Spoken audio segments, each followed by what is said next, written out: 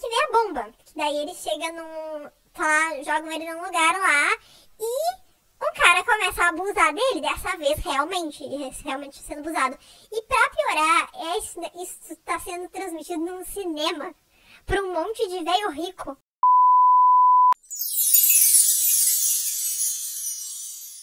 Olá, sejam muito bem-vindos ao canal. Meu nome é Camila e hoje estamos aqui para o nosso momento mais tóxico da semana. E vamos lá já escolher quem vai ser a vítima dessa vez, qual vai ser o anime que eu vou estar tá assistindo. Para quem não sabe o que está acontecendo aqui, eu tô nas últimas semanas eu comecei a fazer isso. Eu tô reagindo a animes boys love antigos que na minha adolescência eu dei nota 10 que eu achei que eram maravilhosos, que eram a melhor coisa desse mundo. E agora eu tô aqui me arrependendo amargamente, muito confusa, sem entender por que, que eu dei nota 10 pra esses animes. Então, já foram dois nas, nas últimas semanas, e esses dois eu não faço a mínima ideia de por que eu dei nota 10, eu fiquei apavorada assistindo. E hoje a gente vai conferir mais uma, eu tô assistindo só, por enquanto, os animes curtos, que tem tipo um ou dois episódios só. E aí talvez no futuro eu faça dos longos, mas Sim, eu já tô com um, um medo de ficar muito chateada com coisas que eu adorava assistir, porque os mais longos eu lembro melhor do que esses curtinhos, assim, que eu assistia de uma vez só. Então, por enquanto, eu tô fazendo os longos. Enfim, vamos lá. A nossa vítima de hoje chama Ikoku Irokoi Romantan. Bom, como vocês estão vendo aí, eu dei nota 10 pra este anime. Assim, achava maravilhoso. São dois episódios e eu vou ler a sinopse aqui pra vocês. Eu estou baixando esses animes no Ana Yaoi Online, que eu falei outra vez, que o site está me salvando, tem tudo aqui. Então, vamos ver a sinopse. Da outra vez eu não li a sinopse e eu fiquei super confusa, então hoje eu vou tentar, tipo, pelo menos ler a sinopse antes de a gente estar tá assistindo aqui. Sinopse. Num navio de cruzeiro, dois herdeiros, dois herdeiros da máfia japonesa Yakuza estão prestes a se casar, porém nenhum dos dois está satisfeito com isso. Omi Ham, Hamaru, o noivo, é expulso do quarto na sua própria lua de mel e se encontra no bar com um italiano que ama a cultura japonesa e os japoneses. Eles terminam se envolvendo um com o outro e a partir daí a história desenrola. Ou seja, é uma história de traição para começo de, de, conversa. Bom, como sempre eu vou, vou ler um, um review de pessoa que não recomendou, obviamente, porque eu não vou expor as pessoas que recomendaram essas coisas, tá? Enredo e história. Esse anime é sobre Hamaru, que se casou recentemente. Ele acaba, ele acaba bebendo no dia do casamento e, obviamente, fica bêbado. O capitão, então, aproveita o estado de embriaguez de Hamaru e o leva a uma sala de navio onde ele ex-papapá o Hamaru. Hum, então, além de ser um anime de traição, também é um anime que tem esse tipo de coisa. Nossa marcando todas as coisas problemáticas possíveis. Faltava um deles menor de idade, mas aí nesse caso eu acho que não. Uh, mesmo que tenha sido com consentimento, não há história de amor ou romance, nem mesmo amizade. O capitão claramente não tem interesse na personalidade ou na vida de Hamaru e só quer levar ele pra cama, que se de ser romântico, na minha opinião. Personagem. O capitão é uma vergonha para os italianos. Ah, então o italiano é o capitão, tá? Embora seja apenas um personagem fictício. Ele claramente não está interessado em formar qualquer tipo de relacionamento com Hamaru. Considerando que ele não tem senso de moral, espaço pessoal respeito, tenho certeza que não é a primeira vez que ele faz isso. Uh! Quanto a Hamaru, não há muito seu personagem. Enquanto assistia ao anime, não consegui me identificar com esse personagem. Sua personalidade era monótona e no fim não sabemos muito sobre ele além de seu casamento. No geral, ele não era um personagem interessante. Final, acho que já deixei minha opinião sobre esse anime o mais clara possível, mas pelo menos a experiência horrível foi curta, graças a Deus por isso. É, é, é o que eu penso toda vez que eu termino esses animes. Ela recomendou, essa pessoa recomendou não assistir. O que eu vou fazer agora? Eu vou exatamente assistir depois ela ter não recomendado. Antes de eu ir lá assistir esse anime, eu, depois eu provavelmente vou concordar com essa pessoa. E eu concordo com essa parte que ela falou que o Japão tem dificuldades de produzir histórias de amor e tal, e realmente isso é verdade. Mas assim, eu vou passar um pano só por fato disso aqui. Olha, foi lançado em 2007 e 2008. Eu assisti bem depois disso, não foi tão... Não faz tanto tempo assim. 2007, 2008 é bem antigo. Mas teve uma história recentemente que eu, que eu assisti e eu vou fazer um vídeo sobre isso. Que é de um... é, é um filme e é, é um BL. E eu senti a mesma coisa, e é uma história bem mais atual. Eu senti que, tipo, não tem. Não, não desenvolveram a história. Era. Parece que a história foi toda desenvolvida pra parte da cama. Então, assim, fiquem aí se vocês estão curiosos pra saber qual é, porque é um bem mais atual. Eu vou estar tá fazendo um vídeo metralhando ele. Vocês provavelmente vão me xingar porque muita gente gosta. Mas enfim, vamos lá, vamos lá, eu vou aqui, ó, uh, vou me preparar e vou lá assistir isso daqui e depois eu volto pra contar pra vocês aqui cheio de ódio, vou voltar cheia de ódio aqui pra falar pra vocês qual foi a minha experiência com isso daqui que promete ser horrível, promete ser o pior do que eu vi até agora. Gente, voltei depois de ter assistido esse anime e percebi que eu tava gravando a outra parte sem meu microfone. Assim, completamente louca. Então o áudio ficou uma porcaria lá. Vocês, por favor, ignorem. E a partir de agora, que pelo menos que é a parte mais importante, né? Que eu vou fazer o review desse Voice Love, vai estar tá com o áudio um pouco melhor. Nada me preparou, porque eu acabei de assistir. O review que eu li ali não me preparou para isso. Eu não, não tava imaginando. Foi bizarro, para variar um pouco. Foi uma experiência muito tosca. Os protagonistas são o Hanmaru, que é o japonês, filho lá dos Yakuza, da máfia, e a, o Albert, que é o italiano lá do navio, o marinheiro. O que, que acontece? O Hanmaru ele vai casar com uma mulher que também é da máfia, uma herdeira da máfia lá. E é um casamento arranjado e eles se odeiam, ele e a mulher se detestam. Eles estão casando à força pelas famílias. E aí ela resolveu que ela queria se casar num cruzeiro. Daí eles se casam num, num navio na Itália. E aí eles já estão se pegando no pau, brigando desde antes do casamento, assim, porque ele adora vestir kimono. E ele não gosta de vestir roupas ocidentais. Então eles usam o kimono. Porque ele usa o kimono todo aberto, assim, com os peitos de fora e quase mostrando a cueca, assim, as pernas tudo de fora. E a mulher tem ódio, porque ela fala que não combina com o ambiente. Que ele devia usar umas roupas melhores, ele não tá nem aí. Daí eles ficam brigando por causa disso. E aí aparece esse Albert aí, que é o capitão, eu acho, do navio. E esse Albert é tipo aquelas minas que são loucas por assistir os dramas coreanos e querem arranjar um homem coreano por causa disso, ficam enlouquecidas pela cultura coreana. O cara é igual, tipo, ele é enlouquecido pela cultura japonesa. É, ele vê o Hamaru e fica. Meu Deus, um homem japonês vestindo kimono, que coisa mais linda! Ele está fazendo uma homenagem tão maravilhosa para a cultura dele. E aí ele já fica de olho no cara, né? Esse japonês é, é bonito, assim. E aí os caras estão falando, ai, como você é bonito tal, ficam falando que ele é bonito. E aí ele já se irrita lá com os caras que vai tirar as caras com os caras. E aí esse Albert chega lá e salva ele, ajuda ele. É assim que eles se conhecem. Depois ele se casa, né? O o Hamaru vai lá e casa com a mulher tal. E depois que eles se casam, eles continuam brigando do mesmo jeito. Eles ficam brigando lá na lua de mel. Brigam tanto, tanto que a mulher expulsa ele do quarto, joga ele para fora do quarto. E aí ele fica perambulando pelo navio e vai no bar. Daí ele senta lá no bar, com aquele kimono dele quase aberto, todo assim. E aí ele tá lá enchendo a cara. E aí chega um cara, e esse cara que chega, ele é apaixonado pela mulher. E ele sabe disso. Ah, eu sei que tu é afim da minha mulher faz um tempão aí, tu veio até aqui atrás dela. E aí, claro, o cara fica. Ai, tu tá aí no bar bebendo porque por acaso tu não conseguiu satisfazer a tua mulher? Ou ela já, já brigaram, ela te expulsou do quarto na lua de mel? Aí os dois ficam tretando com o outro, até que começa a rolar uma briga. E aí esse Albert aparece de novo magicamente para salvar ele. Ele fala assim: ah, você quer brigar? Então vamos brigar. Daí ele fica do lado, o Albert fica do lado do Ramaru. E eles vão lá para fora, fora do navio, lá parte de fora do navio, e começa a descer o cacete lá nos caras que estavam junto lá no grupinho desse cara que é afim da mulher dele. E aí, resumindo, dão uma tunda de pau nos caras e eles saem como vitoriosos, os dois. Eram vários caras, inclusive, tipo, os dois, assim, muito bom de briga, porque os dois dão um pau em todos, assim, o outro fica lá, o que gosta da mulher dele, fica lá humilhado dentro da piscina. Depois disso, ele, o Ramaru vai lá pro quarto desse cara. E fica deitado na cama, assim, com a roupa toda aberta, assim, com o kimono todo aberto, os peitos de fora. Só que ele tava meio, meio embriagado já. E aí o cara fica, ai meu Deus, olhando para ele assim, não consegue se segurar, né? O Albert, o italiano. E acontece aquilo que vocês já imaginam, né? E eu fiquei confusa nessa parte, confesso, porque eu não tenho certeza, não sei dizer se foi ex-parararã ou se foi consens consensual. Não sei dizer, na no review a pessoa diz com todas as letras que era que ele tinha sido abusado, mas eu fiquei na dúvida, porque ficou ambíguo a reação dele ficou ambígua. Claro que é uma porcaria, é uma bosta. Eles tinham acabado de se conhecer e já estavam fazendo essas coisas, né? E fora que a cena em si é podre. Igual todos que eu assisti até agora, essas cenas de cama são podre, podre. Essa daí era podre igual.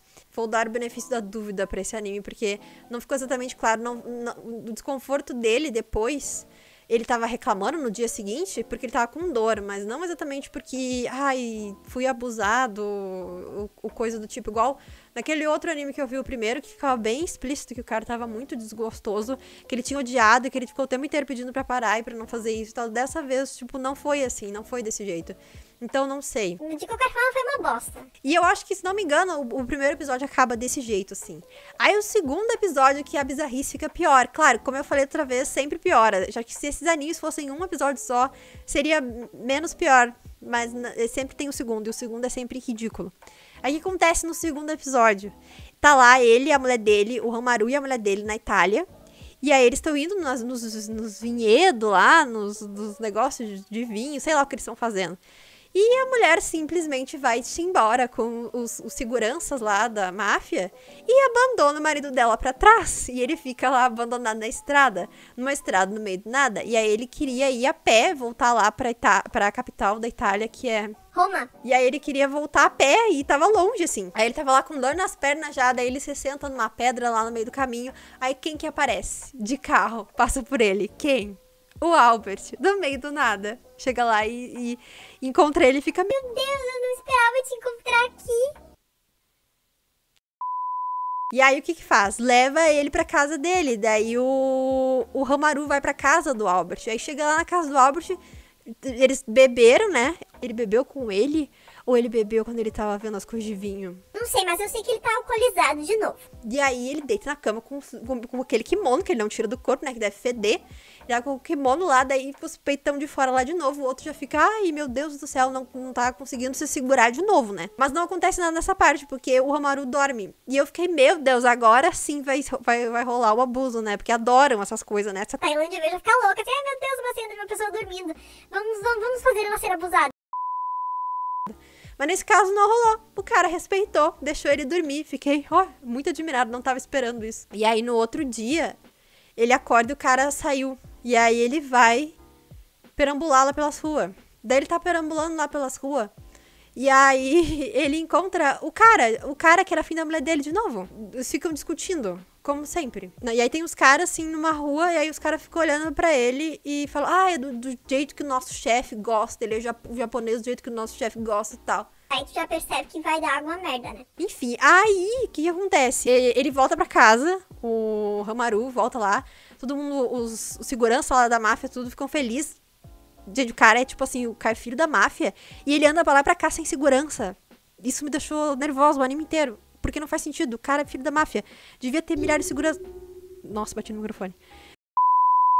Daí ele chega lá, todo mundo fica super feliz, a mulher dele fica. Ai, onde é que você tá, seu desgraçado? Ele... Foi tu que me abandonou lá no meio do, do, do nada, né? Me deixou pra trás. Ele pega, vai lá pegar um elevador. E aí o Albert tá lá junto com ele no elevador. E aí eles começam a se beijar dentro do elevador. E aí, o que acontece? Quando abre lá a porta do elevador, tá lá o cara. O cara que é afim da mulher. Esse cara é onipresente, ele tá em tudo que é canto. Aí o cara tá lá. Daí ele vê os dois se beijando e fica. Eu não imaginava que tu era desse tipo. Daí cada um vai para um lado, mas o Albert colocou um bilhete na roupa dele para eles se encontrarem em tal lugar depois para eles conversarem. E aí ele vai lá. Só que ele não tem coragem de entrar no lugar. Ele vê ele bebendo no bar e não tem coragem de entrar para falar com ele. E aí quando ele tá saindo na rua, aparece os caras aqueles do chefe que, que ia gostar dele, não sei o quê. Minto. Aparece duas minas que foram mandadas por esses caras. E aí as minas levam ele lá pra beber e tal, e ele acaba se envolvendo com, a, com as minas. E aí é uma cilada, obviamente. Por que que de novo ele tava na rua sem segurança, cara sendo filho da máfia? Aí que vem a bomba. Que daí ele chega num. Tá lá, jogam ele num lugar lá e um cara começa a abusar dele, dessa vez realmente, realmente sendo abusado. E pra piorar, é isso, isso tá sendo transmitido num cinema pra um monte de velho rico pros velho rico ver e comprar ele como se fosse uma mercadoria. Aí quem vocês acham que tava lá no cinema que foi convidado para ver também? Exatamente o cara que é afim da mulher dele. Ele, o cara tá em todas as cenas. E aí o cara tá lá e ele vem e fica tipo, pelo amor de Deus, o que que ele tá fazendo? O que que o Ramaru tá fazendo lá? Que merda, os caras não sabem que ele é filho da máfia. Se souber, isso vai dar uma merda, mas uma merda. E aí ele tenta comprar ele, porque os caras começam a dar lance no, no Ramaru. E ele tenta comprar lá, desesperado ele. Enquanto isso, o Albert já se inteirou da situação, porque ele ouviu as minas falando que as minas, depois de terem levado ele, terem feito aquilo com ele, elas foram no bar, no mesmo bar onde ele tava. E aí o Albert ouviu a história e concluiu, né? Elas estavam falando de um cara de kimono lá, concluiu que era ele. E aí ele já tava indo atrás para tentar resgatar ele. Mas o coitado foi lá abusado de todo jeito possível lá, numa nojeira pra tentar estavam tentando vender ele, né? Daí ele consegue escapar porque ele dá uma dentada e morde a orelha do cara que tava abusando dele. E aí ele foge e tá lá correndo, correndo não, né? Porque o cara tá todo assim, né? Não consegue nem ficar de pé. Mas ele tá se arrastando lá pelos corredores. E aí quem que aparece nos corredores? Exatamente, o cara que é afim da mulher dele aparece lá. E pra tentar ajudar ele. Só que ele tá todo drogado, né? Porque chaparam ele horrores. E aí o, ele fala, ai, me ajuda. E o outro fica tipo. Eu não posso te ajudar, eu sou normal. E aí eles brigam. Eu nem lembro se, se o Ramaru bate nele mesmo embriagado. Sei lá, eu sei que ele, ele, ele foge do cara. E aí ele tá andando lá pelos corredores e os carinha, do, os caras que sequestraram ele estão lá pra tentar pegar ele. Daí finalmente aparece o Albert. Aí o Albert aparece, obviamente, salvador do dia e dá uma tunda nos caras lá e salva ele. E aí, nessa parte que ele se dá conta de que ele tá apaixonado. O Ramaru se dá conta de que ele tá apaixonado pelo Albert. E aí ele fala. É realmente esse sentimento aqui que eu tô sentindo por ti. Eu não paro de pensar em ti. Eu não sou do tipo de pessoa que fica pensando assim em alguém, mas eu não parei de pensar em ti o tempo inteiro. É realmente, eu acho que eu tô apaixonada. E aí o, o Albert fala que é recíproco. E aí, no fim, esse Albert pega ele e leva ele num helicóptero e fala que tá resgatando ele, um helicóptero de resgate, e leva ele. E aí eles vão assim pro infinito. E acaba a história. E tipo assim, a mulher do cara, o cara era casado. E ele ainda era casado com a mulher da máfia, filha dos caras da máfia. Não vai dar nada nisso. E tipo assim, a mulher foi traída, coitada, e, e ficou como se fosse uma coisa romântica, ele com esse Albert. Eu não entendi, bolhufas! Pra variar um pouco, eu não entendi bolhufas. Toda vez que eu termino, eu fico, por quê? O pior é que a história desse nem é tão ruim. Se fosse bem, bem elaborada, não seria tão ridícula. Porque, tipo, até que é uma história. É, de todas as histórias que eu vi até agora, era, a história que mais teve desenvolvimento, sabe? Mas era um desenvolvimento bosta. Podiam ter feito muito mais com essa história.